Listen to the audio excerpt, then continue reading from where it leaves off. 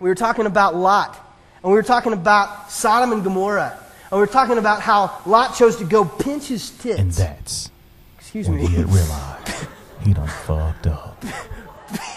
Pinch his tits, pinch his tits, is what I said. And you heard nothing else here. This is church, my gosh.